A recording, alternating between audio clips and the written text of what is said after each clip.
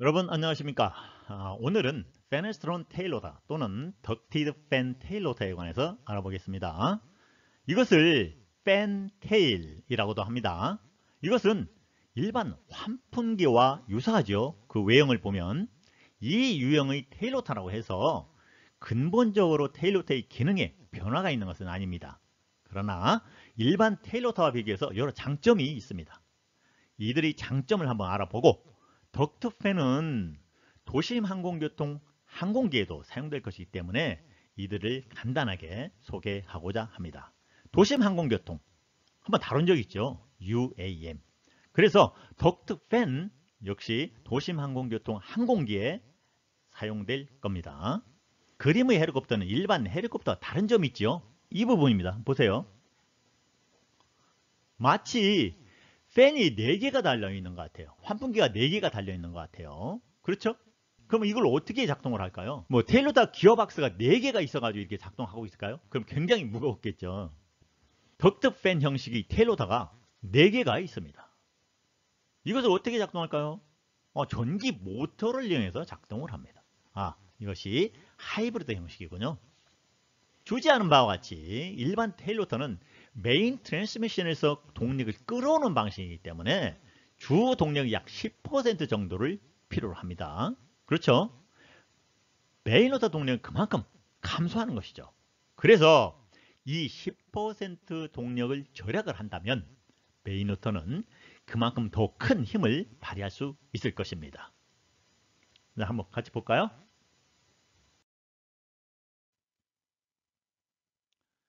자, 이 그림은 Fenestron tail rotor입니다. 자, Fenestron tail rotor is another relatively new technique that was patented by the French firm Aerospatiale, now part of the Eurocopter. 즉, 유로콥터 한 부분이라는 거예요. 그래서 Fenestron tail rotor는 비교적 신기술이다, 새로운 기술이라는 거죠. 프랑스 회사 지금 유로콥터사에서 보유하고 있는 신기술이다라는 뜻입니다. Fenestron tail rotor는 일반 tail rotor보다 더 많은 수의 blade가 있는 것을 볼 수가 있습니다. 자, 그림에서 한번 보듯이요. 이렇게 blade가 훨씬 많습니다. 보시는 바와 같이 대략 8개 또는 13개까지 있습니다. 그런데 일반 tail rotor는 4개 이상의 blade가 있는 것이 드물죠. 그렇죠? 또한 blade는 훨씬 작고 훨씬 작습니다. blade 어, 직경이 그리고 더 빠른 속도로 회전을 합니다. blade가 shroud 내에 이게 shroud죠 이게 shroud 원통 안에 장착되어 있어서 외부 공기로부터 blade tip을 보호하는 역할을 한다는 겁니다. 그렇죠? 이 그림에서 보는 것처럼 자 다음 볼까요?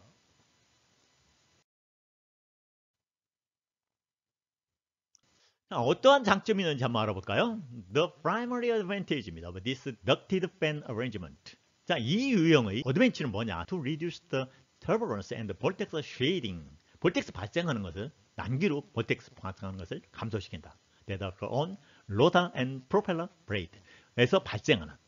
다시 말해서 이 덕트 팬 배열의 주요 장점은 로터와 프로펠러 blade에서 발생하는 난기류와 와류 발생을 감소시킨다는 것입니다. 자, 다음 볼까요? The rotor becomes more aerodynamically efficient by reducing drag and noise as well as vibration are also significantly reduced. 이 뜻은 항력을 감소시키면서 로터는 공기역학적으로 더 효율적이 되며 소음과 진동도 현저히 감소한다는 뜻입니다. 그만큼 항력이 감소했으니까 공기역학적으로 효율이 그만큼 향상됐다는 뜻입니다. The Fenestron offers safety advantage too since the shroud 원통이죠. shroud help protects the rotor from striking outside object. Fenestron shroud가 로터를 외부 물체에 부딪지 않도록 보호함으로 안전상 그렇죠. 여러분들이 봐도 일반 노출된 거하고는 전혀 틀리다는 것을 알 수가 있습니다. 헬리콥터 추력의 일반적 원인 중 하나는 뭐냐면 테일로다가 나무라든지 또는 전력선 또는 기타 어, 장애물에 부딪히는 사고입니다. 즉 착륙할 때 이러한 위험성이 상당히 높습니다. 헬리콥터 지상에서 선회할 때 지상 근무자의 안전도 보장할 수가 있다는 겁니다. The only significant drawback to ducted fan like the Fenestrone is that to the shroud added weight that offset at least some of the improvement in performance. 즉, Fenestron과 같은 덕트 팬이 중요한 단점은 뭐냐? shroud가 있잖아요. 보호하고 있는 거, shroud가 무게를 더해서 성능 향상을 어느 정도 상쇄한다는 것이 하나의 단점이다 라는 겁니다. 자, 다음 볼까요? 자, 이 항공기는요. RAH-66 코만치입니다. 요 세 개가 코만치 비율이고 그리고 밑에 있는 것은 우리 국산 경공격 헬리콥터입니다. RAH-66 코만치 스텔스 헬리콥터는 역시 덕트 팬 시스템이 채택된 주요 이유 중 하나가 뭐냐면 소음 감소예요. 소음 감소. 헬리콥터에서 발생하는 상당한 소음이 tail rotor에서 발생하는 경향이 있기 때문에 설계자들은 소음 수준을 낮추고 헬리콥터를 감지하기 어렵게 만들기 위한 덕트 팬을 채택한다는 겁니다. 보잉과 시콜스키에서 개발한 RAH-66 코만치는 미국 스텔스 무장 정찰 및 공격 헬리콥터입니다. 그러나 이 헬리콥터는 수년의 개발 끝에 2004년 양산이 시작되기 전에 취소되었습니다. 그 시점까지 거의 약 70억 달러가 이 프로젝트에 사용되었습니다. 카이에서도 경공격 헬리콥터 개발에 추진하고 있는 것으로 알려졌는데요. 이 헬리콥터 역시 팬테일을 채택하고 있습니다. 요 그림과 같이요. 그렇죠? 팬테일입니다. 정찰 및 공격 헬리콥터는 소음이 적고 기동성이 우수해야 합니다. 소음은 군용 헬리콥터뿐만 아니라 민간 헬리콥터에서도 주요 개발 대상입니다. 자, 성능은 그렇다 하더라도 외형을 한번 비교를 해보시기 바랍니다. 스텔스, 그 다음에 저소음 헬리콥터의 주요 외형을 주위에서 한번 관찰해 보시기 바랍니다. 한번 볼까요?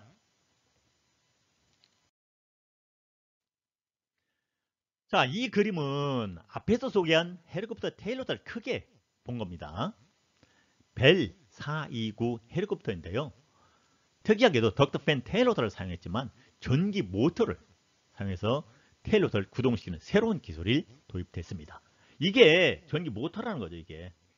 이게 전기 모터입니다. 모터를 구동하는 거예요. 이렇게 보면 마치 일반 환풍기와 유사하지 않나요? 일반 모터와 달리 EDAT 시스템이 팬 속도를 조절합니다. 이것을 뭐라고 하냐면 전기 분배 안티토크 시스템이라고 합니다. Electrically Distributed Anti-Torque라는 것이죠. 이 테일로터는 어떠한 장점이 있을까요? 자, 전형적인 재래식 테일로타하고 이 형식 하이브리드 형태가 어떠한 장점이 있는지 같이 한번 알아보시기 바랍니다. 미래의 항공기 개발 중점은 탄소 배출입니다. 그리고 소음도 줄이는 것이죠. 효율을 높일 수 있는 터보 전기 하이브리드 항공기에 주목하고 있습니다. 여러분도 이거에 상당히 어, 중점을 두고 학습을 하셔야 됩니다. 일반적으로 tail rotor 동력은 main rotor의 10% 정도이기 때문에 이것은 큰 동력입니다. 설계자들은 머리를 싸맵니다. tail rotor 동력을 최소화하기 위해서 노력을 합니다. 이것을 절약한다면 메인 동력 10%를 확보한다는 의미가 기동성에 크게 기여한다는 것이죠. 그렇죠? 자, 이외에도 다음과 같은 이점들이 있습니다. 같이 한번 볼까요? 음, selective operation of the tailrotor. 아, 이게 뭔 뜻이냐면요. 지상에 있는 동안에는 재래식 테일로타는 계속 돌아가잖아요. 맞죠? 그런데 지상에 있을 때는 정지시킬 수 있다는 거예요. 테일로타가 선택적 작동인데요. 지상에 있는 동안 테일로타는 작동하지 않아도 됩니다. 굉장히 안전하죠. 문제가 있으면 정비사가 돌아가지 않고 있으니까 안전에 그쪽으로 접근해서 정비도 해볼 수 있고 구경꾼도 거기서 볼 수도 있고 그렇죠? 자, 두 번째 weight reduction 이것은 뭐냐면요 기계 부품이잖아요. 그 다음에 특히 테일로다 구동축과 기어박스가 없잖아요. 그러니까 그만큼 무게가 감소해요. 또 정비도 그만큼 소요가 감소한다는 거죠. 물론 shroud 무게, 앞에서 말씀드린 바와 같이 shroud 무게 증가가 이를 상쇄시킬 수 있습니다. safety increase, 안전성, 두말할 필요가 없죠. 지상에 접근하고 물체에 부딪힐 위험이 없다는 겁니다. 근무자들이나 구경꾼도 상당히 안전하다는 거죠. fuel efficiency, 연료 효율이 높다. 뭐냐? 가스터빈 동력보다 더 효율적이다. 연료 소비를 그만큼 줄일 수가 있다. maneuverability 기동성 또는 민첩성이라고 하는데요. 정밀한 전기 모터 제어 방식이기 때문에 일반 tail rotor보다 더 민첩하게 작동하거나 반응할 수 있다는 겁니다. 그리고 redundancy. redundancy는 뭐냐면 중복성이죠. 왜? tail rotor 고장나면 그대로 사고로 이어지는데 이 경우는 4개의 모터가 있기 때문에 그 중에 하나 또는 두 개가 고장이 나더라도 나머지 세개 또는 두개 또는 최악의 경우는 하나만 가지고도 어느 정도는 안전하게 착륙할 수가 있다. 그래서 이런 중복성이 매우 우수하다라는 겁니다. 자, 다음 볼까요? 결론적으로 덕트팬 형식은 소음, 무게, 기계적 복잡성, 연료 효율을 달성하는 설계라는 겁니다.